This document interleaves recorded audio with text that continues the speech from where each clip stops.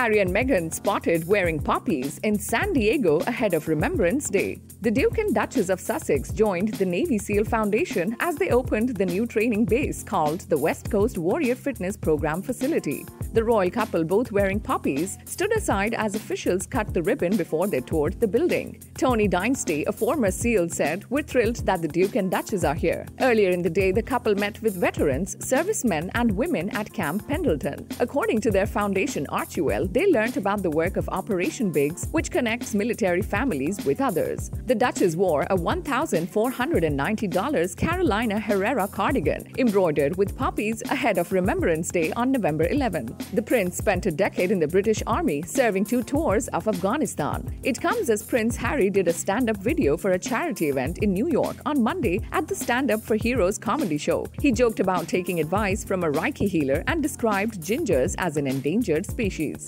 During his set, Harry said, Due to the shockingly low representation of gingers last year, and out of respect for my fellow endangered species, here I am reporting for duty. As someone who never gets scrutinized, I haven't even had to prepare much. But out of an abundance of caution, I have been working on this particular act for quite some time, and everyone I know tells me it's perfect. And no, these aren't people who just tell me what I want to hear. These are people like my finance manager, my lawyer, and of course, my Reiki healer. Subscribe to our channel for the latest on your favorite celebrities. Like, comment, and share, and don't forget to press the bell icon for notifications.